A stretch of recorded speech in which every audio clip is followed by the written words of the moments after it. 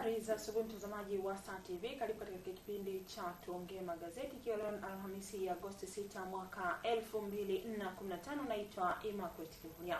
Naanza na gazeti Mwananchi katika ukurasa wa kwanza, laandika Dr. Sila asema nipo salama, Profesa Lipumba atoa kauli yenye utata, awaweka njia panda wanachama kafu. Habari hii inapatikana ukurasa wa nne. Sintofahamu imeendelea kukigubika chama cha wanajikafu baada ya kauli ya mwenyekiti wa chama hicho Profesa Ibrahim Lipumba kuwaacha wafuasi wa chama hicho katika giza nene juu ya hatima yake kisiasa.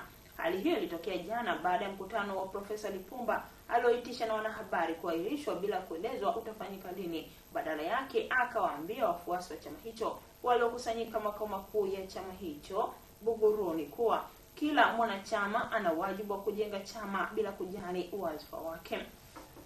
Dr. Slaa asema niko salama, nitazungumza muda ukifika. Ni siku tatu baada ya baraza kuu la Chadema kuridhia kumpumzisha kwa muda katibu mkuu wa chama hicho Dr. Wilbrod Slaa baada ya kutofautiana na kamati kuu kwa kumkaribisha waziri mkuu wa zamani Edward Lowassa. Kiongozi huyo amesema yupo salama na wakati mwafaka ukifika atazungumza ya moyoni. SAU APPT kumuunga mkono Lowassa ni habari nyingine katika ukurasa wa kwanza, lakini kwa undani habari hii inapatikana ukurasa wa tano.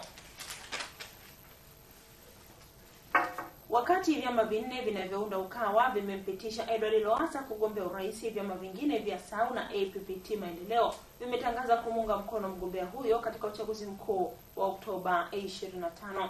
Pia Ukawa alimtangaza Juma Duni Haji kuwa mgombea mwenza wa Lowassa na Maalim Seif Sharif Hamad kuwa mgombea urais Zanzibar.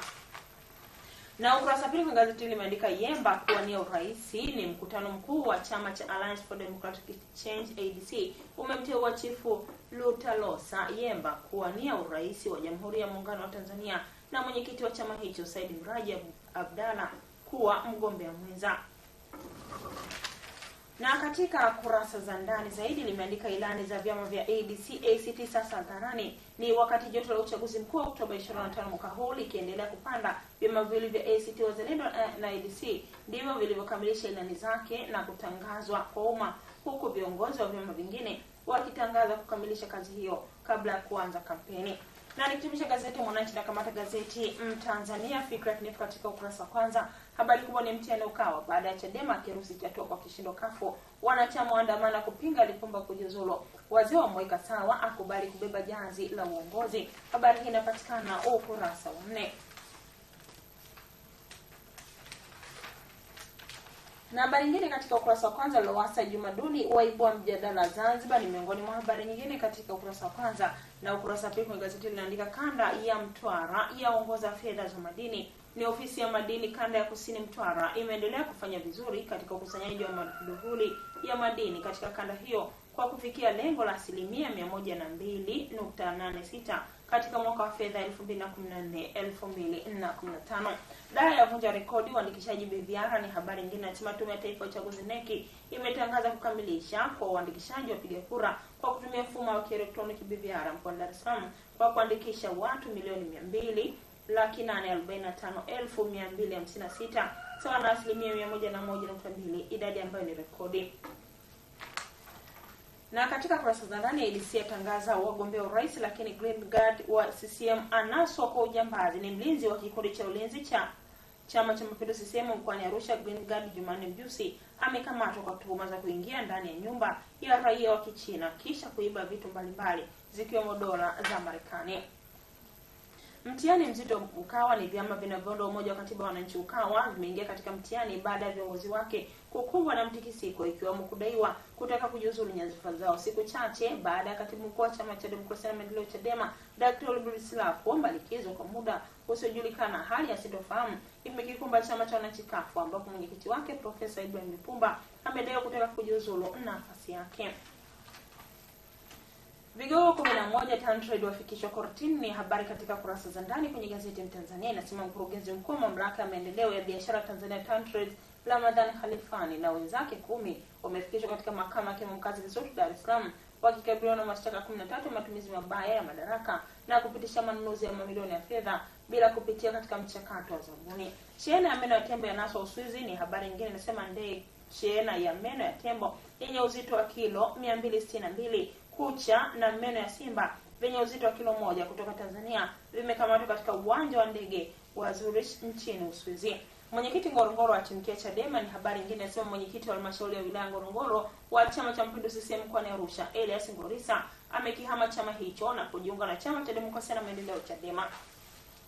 Kwa upande wa gazeti Majira, katika ukurasa wa kwanza anaandika wingu zito kafu, Profesa Lipumba aibua taharuki, hofu ya tanda kwa wanachama, hakutana na wazee faragha, ailisha kuzungumza na wanahabari. Naibu katibu mkuu Sakaya asema hajui kinachoendelea kwa bosi wake. Uchunguzi wa majaji wa escrow kamilika, ni habari nyingine katika ukurasa wa kwanza. Inasema jaji mkuu wa Tanzania Mohamed Chande Othman amesema tume iliundwa kuchunguza tuhuma za majaji wawili wa mahakama hiyo kunufaika na mgao wa fedha kutoka kwenye akaunti Tegeta Escrow imekamilisha kazi yake na kinachosubiriwa ni kupitia ripoti hiyo. Majaliwa ya Yona Mramba mwezi ujao ni habari nyingine katika ukurasa wa kwanza, lakini habari hii kwa undani inapatikana ukurasa wa nne. Inasema mahakama kuu ya Dar es Salaam imepanga kutoa hukumu ya rufaa iliyokatwa na mawaziri wa zamani Basil Mramba na Daniel Yona Septemba 18 mwaka huu baada ya kupitia hoja za upande wa utetezi na mashtaka. Na ukurasa wa pili kwa gazeti ni habari za kimataifa, ambapo kuna habari inasema Palestina yaishtaki Israeli ICC. Ni waziri wa mambo ya nje wa Palestina Riyad Al-Maliki amesema wamewasilisha mashtaka kwenye mahakama ya kimataifa ya jinai ICC jana kuhusiana na mauaji yaliyofanywa hivi karibuni na Israeli.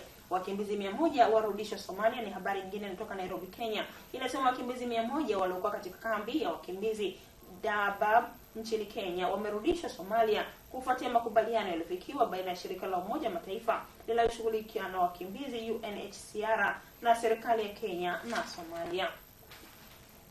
Na kwa upande wa gazeti ya Habari Leo, katika ukurasa wa kwanza anaandika Lipumba ipasua kichwa taarifa za kujiuzulu za vuruga wanachama wavamia ofisi, mwenyewe atoa kauli tata, ateta na viongozi wa dini, mchungaji adai Profesa amekerwa na ujio wa Lowassa. Uandikishaji BVR dawa vuka lengo na ikiasifu mwamko wa wananchi ni habari nyingine, lakini mahakama yampongeza Kikwete. Ni jaji mkuu wa Tanzania Mohamed Othman Chande amesema kitendo cha Rais Jakaya Kikwete kufanya uteuzi wa mara kwa mara wa majaji nchini kimeongeza kwa kasi kikubwa utendaji wa idara ya mahakama na hadi sasa kuna majaji takribani mia moja, jambo ambalo halijawahi kutokea miaka ya nyuma.